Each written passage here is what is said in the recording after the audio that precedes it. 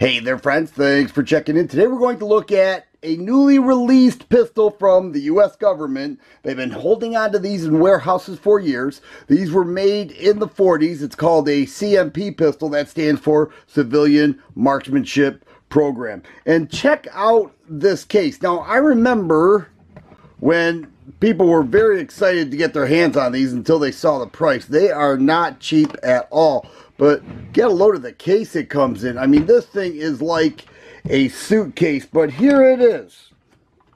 It's a 1911. There it is. I mean, it, it does not sway away too much from the modern 1911s, or shall I say the modern 1911s have not swayed away too much from this. This is an original 1911, primarily a combination of Ithacas, Remingtons, and Colts the CMP pistol that so many people were excited about, but they are not cheap at all. Let me go ahead and get this out of the way, and we'll talk about this here 1911. It embodies everything that the modern 1911s do, and we're going to compare them in a minute, but you're looking at, for, for this here gun, $1,050. Now, I recall reading somewhere that the government intentionally raised the price on these because of the fear that it would get into the wrong hands and somebody would use it in a violent way. And that way, they did not want to be held responsible. But if you're a collector or you love historical surplus guns, this one with this condition would cost you $1,050. They also have what's called a field grade. This is a service grade. They also have a field grade which has minor rusting and pitting. That's 950 and then the third is a rack grade for 850 and that's when it has some serious rusting and pitting and it's unknown if it's actually usable. So that would require most likely a gunsmith to own it. But check this out. A couple things I noticed right away. You know, you get the same feeling as a modern 1911, as you should, but it does come with an arched mainspring housing.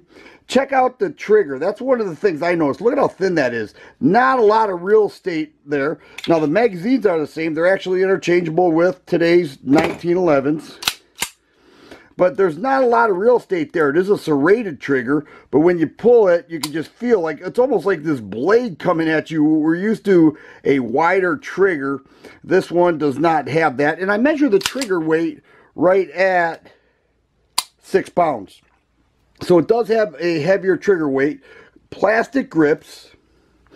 It does have the serial number there, and then some markings there. It says M1911A1 U.S. Army, and over here it says United States Property, along with the serial number. So it's not evident what maker produced this, but it is. It's a piece of history right here, and, and many guys, like my buddy Mike, uh, owns this gun and he said he just wanted it for a, a, collector's piece and he took it to the range and said this thing shot dead nuts.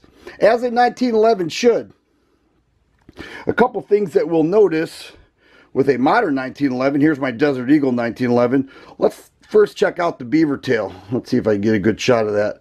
Okay look at the the, the extended beaver tail opposed to the the older ones from the 40s all right then we can see we have a skeletonized hammer, and trigger. Nothing of the sort with the CMP pistol. We look at the serrations, very different. Although a lot of modern 1911s have real tight serrations like that. And then this one has front serrations. Check out the sights. This has integrated sights there. Very small. And then the front sight is tiny. All right, so if we compare that with a modern 1911, we'll see that there are big differences there. And then of course the trigger, I mentioned the new ones are wider.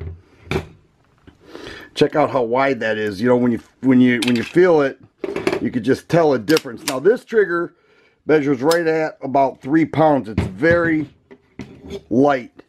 And meanwhile, this trigger right here, about double that, right around six pounds.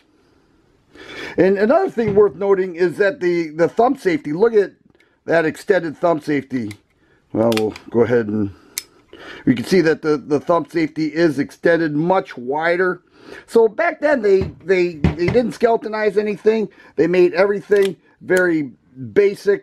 The CMP pistol has a Parkerized finish. The modern 1911s have the you know the G10 grips, the custom work on it and everything. But the function is the same with a five inch barrel, government size 1911. Even the magazines are the same. I mentioned they were interchangeable. So here we have the CMP magazine.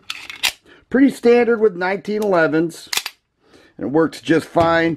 And the same thing with this. Uh, they obviously do not have the base plate there, but that would work just fine as well.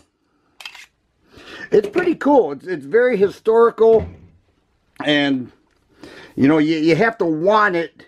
You have to really want this thing to to appreciate it. You know, when you're going to pay over a thousand dollars for a 1911, then you know you, you're you're you're you're putting out some bucks for that.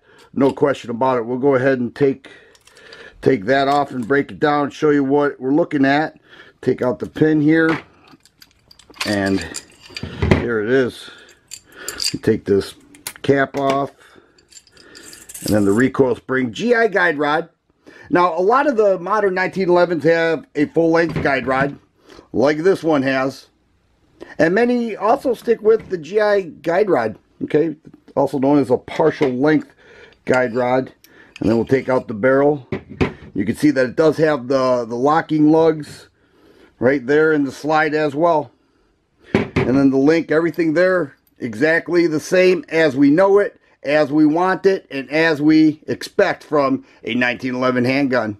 So there it is, guys. The CMP pistol, Civilian Marksmanship Program. This one is in real good condition. Cost you $1,050.